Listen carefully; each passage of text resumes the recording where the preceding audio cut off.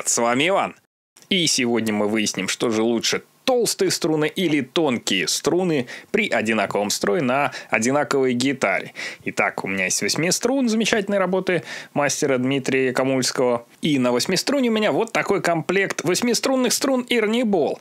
То есть, как видите, 74 это восьмая струна, 54 шестая. Но их обе, шестую и восьмую, я настрою в одну ноту, соль диез, для того, чтобы получить болтающуюся шестую струну и дико натянутую восьмую и сыграю пару кусочков, а вы попробуйте угадать, где что. А также напишите, что лично вам больше понравилось.